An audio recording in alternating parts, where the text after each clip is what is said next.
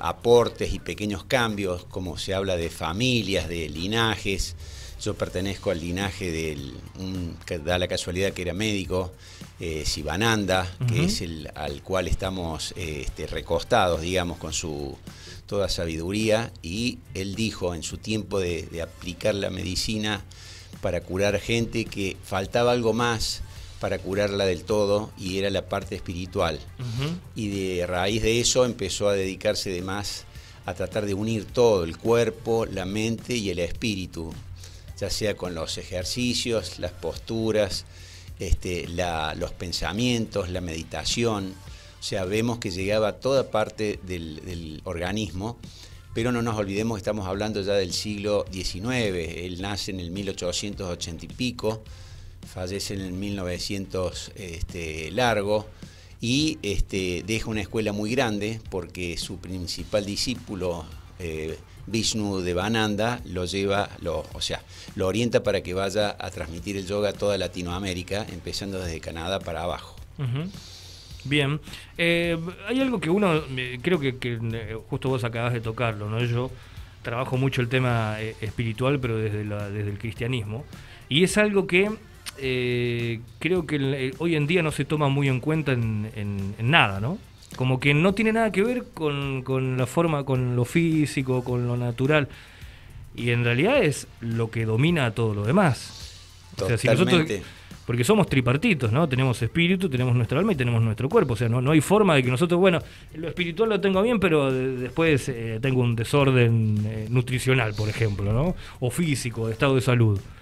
Y, no, deberíamos tener todo, todo, equilibrado, ¿no? Totalmente cierto, Kili. Lo que pasa es que nosotros somos criados, fuimos criados ya desde chiquito, primero en la, en la casa, con la señal de la cruz, con hablar de, de, Dios, de Cristo, de la Virgen María.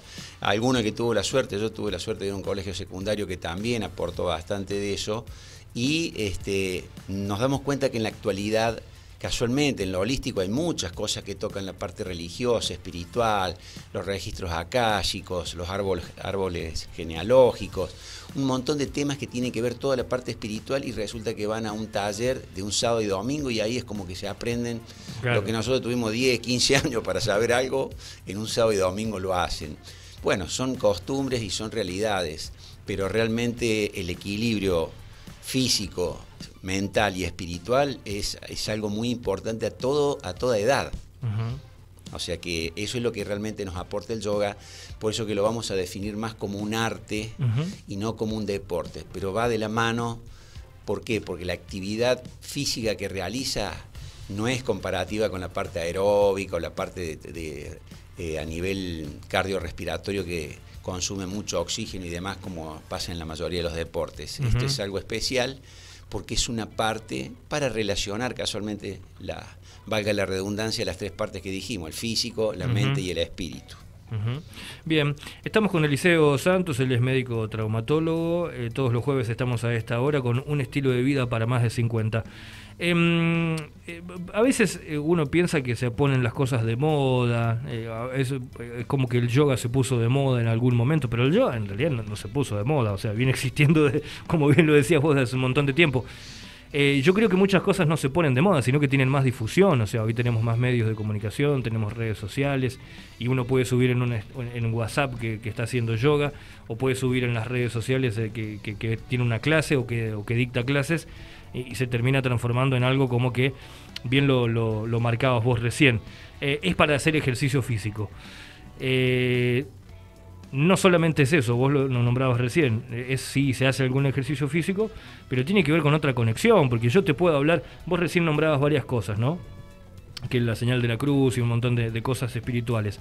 Yo también te puedo hablar de yoga leyendo Wikipedia, pero otra cosa es hacerlo es hacerlo, pero no como un ejercicio, sino también tratar de conectarse. O sea, creo que ahí está, debe estar la clave ahí o no. Una conexión total que hace que el físico empiece a tomar conciencia de todas las partes del mismo, o sea, de todas las partes, pero con una, una cabeza, por decirlo así, con una mentalidad totalmente eh, incorporativa, totalmente integrativa cosa que eh, yo salga de una clase de yoga, promedio una hora, una hora, una hora quince, y diga, menos mal que vine, me siento totalmente diferente, me siento liviano, me siento light, como dicen ahora, porque me siento como que todo lo, la mala vibra o toda la tensión que tenía no, no, no la siento.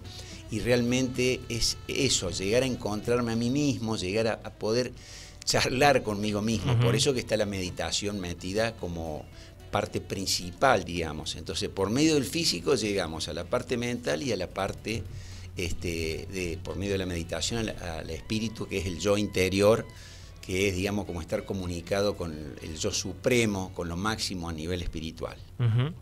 Em, Eliseo, eh, te, consulto, porque por allí hay gente que quizás eh, no, le ha dado mucha bolilla al tema espiritual o tiene como muy marcado otro tipo de cosas. Em, ¿Es como para, para, para, temerle o para decir, che, ¿dónde me voy a meter? O sea, es una cosa rara, eh, o esto me va a ayudar en la vida. O sea, ¿cómo tenemos que ir si queremos hacer yoga? ¿Tenemos que ir con, eh, todas esas dudas, sacarnos las dudas o ir y meternos directamente? Muy bueno. Eh, claro, o sea, una cosa es la parte religiosa, que hay muchas religiones, pero el común denominador es que hay un Dios superior, llámese del nombre que tenga. Sí, el nombre que Buda, Jehová, Dios mismo, este, hay un montón. Y hay algo también, eh, vamos a llamarle cuerpo celeste o supremo que también es el premio de estar en cierta dimensión o estar en el cielo, que es la generalidad de todo el mundo. Está en otro lugar, está en paz, ahora sí que está en una vida tranquila, son todas esas palabras que escuchamos. Lo que pasa que cuando hablamos, lógicamente, es la religión hindú, o sea, nace el yoga, nace en la India. Entonces, obligadamente, de las bases por eso que ahí tenemos palabras que hay que incorporarlas con pinzas para saberlas relacionar con la religión, que es la reencarnación, que es la, parte de hablar de Buda, hablar de otros. Otras, a ver, son otros dioses que se manifiestan para que uno los pueda ver en, vista, digamos, los pueda ver en un flyer, lo pueda ver en un cuadro, lo pueda ver en una imagen, que eso significa muchas cosas que son comunes a la mayoría de las religiones, que repetimos, la mayoría de las religiones quieren el amor, quieren estar bien espiritualmente, quieren estar bien a, relacionarse con, con, sus seres queridos, estén o no estén en este mundo. O sea, una serie de cosas que es común denominador con el resto de las religiones. Pero esto de meterse en el yoga es generalmente lo que vemos, la tranquilidad y la, parsimonia de todo lo que es Oriente contra lo acelerado y lo materialista que es Occidente. ¿ah? Entonces, eso es lo que quiere Occidente, estar un poco más relajado, un poco más relacionado con el entorno, disfrutar el entorno y no que nuestra toda vida sea nada más que trabajo, sufrimiento y, malos ratos, porque casualmente hemos venido a este mundo, este viaje terrenal, como lo dice la religión hindú a, disfrutarlo, a pasar lo mejor posible y buscar lo, bueno y lo más lindo de todo, no estar fijándome en la, en la, parte fea o en la parte que no me, no me conviene, que, que me pone mal. Bien, mira, justo con lo que hablábamos la semana pasada y la otra, eh, con respecto a la nutrición, con lo que uno come, con lo que uno... Eh, tiene mucho que ver también lo que uno escucha, lo que uno consume en cuanto a lo que lee, en cuanto a la radio que escucha, en cuanto al, al, diario que lee en internet. Eh, todo eso también eh, afecta a lo espiritual, ¿no? Eh, por ejemplo, como si, si, uno va, mientras más cargado va, mejor, mejor va a ser el, yoga, ¿no? Cualquier actividad que haga, ¿no? Porque mejor, va a salir. Tal cual, tal cual. Pero, muy, pero tiene mucho que ver todo eso, ¿no? Mientras yo pueda dejar todos esos hábitos, como decías vos, ¿para qué vine? Si vine, si yo creo que vine a pasarla bien, ¿por qué tengo que estar todo el tiempo consumiendo cosas que me hacen mal? Claro quieras o no, todos los sentidos, todo el sensorio, como se dice, audición, visión y demás, nos va entrando porque uno las escucha y las va rumiendo. Está muy en boga mm. la palabra, está rumiendo, ¿qué hace? No te enrosques. Por eso que la mente tan poderosa se la compara a veces con el mono loco, borracho, picado por un escorpión. ¿Qué quiere decir? que cuanto más le das material y mercadería para que se enchufe y empiece a pensarla y se va enroscando generalmente para el lado malo. Entonces yo no estoy relajado nunca, estoy muy enchufado, puedo terminar en un estrés, puedo terminar este, peleándome con todo el mundo, o sea que eso quiere decir que yo estoy mal. Y entonces atraigo todo lo malo, la ley de la atracción tan, tan en boga que está, Y eso es lo que pasa. sí, que es una cuestión natural. La ley de atracción está demostrado que es una cuestión natural. Creas en lo que creas, es una cuestión natural. Perfecto. no, hay forma porque es algo que tiene que ver con, lo físico, con, cómo estamos hechos. Y uno cree y crea, ¿no es cierto? O sea, todo lo que hace a, su, entorno y alrededor y va creando una vida, si quiere, una vida tranquila, una vida ordenada, una vida físicamente sana. Todo eso lo va creando uno mismo, se lo plantea, eh, como bien dijiste vos, escucha todas las los comentarios, toda la información que está alrededor de uno y de eso hace un filtro y realmente tomo lo que me va a ayudar. No todo, porque si no todo, ahí sí me voy a complicar. Sí, porque, ¿sabes por qué te digo, Eliseo? Porque a veces uno escucha, ¿no? Que dice, no, yo probé, la verdad que he probado con todo. Probé con Dios, probé con yoga, por ahí, la verdad que no. Y sí, el tema es que si vos, con, es como la dieta, ¿no? Si yo todo el tiempo consumo cosas que, eh, no sé, procesados, supóngete Consumo todo procesado, todo el tiempo, todo procesado. Sí, no, hago todas las dietas, pero no me sirve. Y bueno, pero si vos no cambiás la forma de, alimentarte, no, no, no, no, no, va a funcionar, ¿no? Y el yoga es lo mismo, calculo que no va a funcionar si uno sale de hacer el yoga y vuelve otra vez a consumir lo mismo Tal cual. afuera, ¿no? Vuelve a cargarse todo el tiempo. Y como todas las cosas, volvemos a las palabras voluntad y perseverancia. Hay que darle un tiempo importante para decir, pude estudiar, pude leer, porque no es solamente la clase de yoga en este caso. Salimos del yoga y algo vamos a leer, así vamos a las redes, como nombraste vos, algo muy fácil, le pego al Google un teclazo y me voy informando cada vez más, este, me meto en la cosa. No es solamente una clase, chao, salgo, me voy y, casi ni me acuerdo lo que se habló, porque se habla mucho de, en yoga y es muy estimulante el, el profesor, el swami, el instructor, como se lo llama, este, que te está principalmente enseñando a quererte a vos mismo, hablar mucho del amor, hablar mucho de, la integración de, a nivel laboral, familiar, de, lo que sea, para que todo para bien, todo para superarte. Algo que parece muy simple es mirar, poder mirarse al espejo y de pupila a pupila decir yo me quiero, yo me amo, yo voy a ayudarme y yo voy a ayudar a mi entorno. O sea, son cosas muy fuertes que o sea, suena simple comentarlo, pero hacerlo y llevarlo es, a cabo es, más complejo, es más complejo. Claro, es más complejo. Es como que está uno solo y sin embargo me da un poquito de cosita que yo me mire a mis ojos y me diga las cosas de estímulo para, para eh, trabajar y poder llegar a, lograr lo que la meta que me he fijado. Bien, bueno, estamos llegando ya casi al, final, Eliseo. Sabes que mm, todo esto que vos me comentás, nosotros estamos transitando mucho, esto es una cuestión personal, ¿no? Con, con mi esposa. Eh, el tema de la... hay un, varios formatos nuevos ¿no? De, crianza con respecto a los niños, crianza respetuosa, responsable, y muchas de ellas hablan de cómo llegamos de grandes, ¿no? que necesitamos tantas cosas después cuando somos grandes, que sí o sí no hay forma que te salves si no es eh, a través de una religión, a través del yoga o a través de... pero de cualquier cosa que tenga que ver con algo espiritual.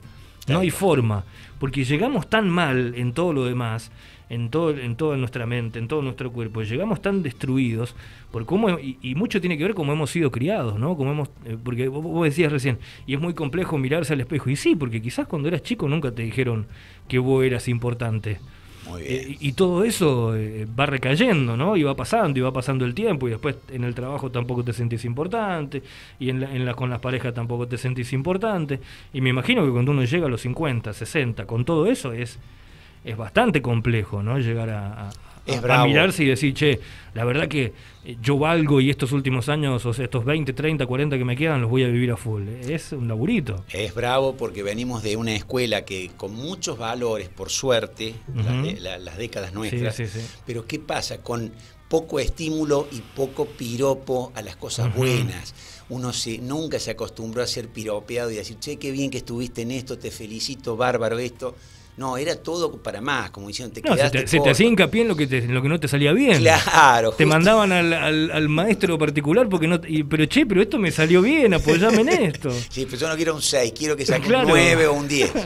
Entonces era todo muy... Claro. Lo bueno fue, repito, los valores y la primera escuela, no nos olvidemos, la primera escuela es nuestra casa. Totalmente, ¿Mm? totalmente. Segunda escuela puede ser la ayuda de un club, con la escuela, por supuesto, pero uno, todos nos hemos pasado por un club digamos, la segunda escuela del buzo, por decirle así, y de esa forma recién ya nos metemos bien en la calle, en la vida misma, Y ahí uno va haciendo las diferencias de, lo, de esas dos escuelitas que ha tenido, pero principalmente la familia, el toque espiritual, el toque de los valores.